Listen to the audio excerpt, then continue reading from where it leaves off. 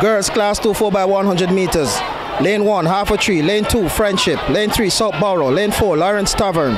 Lane 5, Naggo Head Primary. Lane 6, Mineral Heights. Lane 7, Lyssons Primary. Lane 8, Rousseau Primary.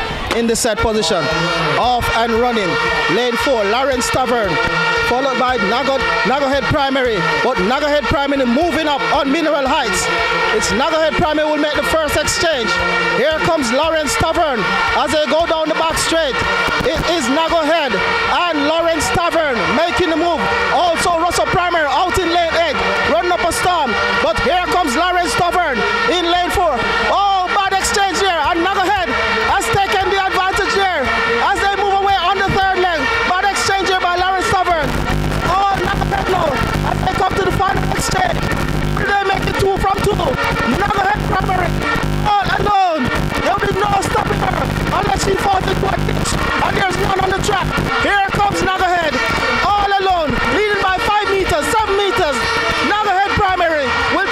one ahead of Rousseau Primary, finishing fast in lane eight.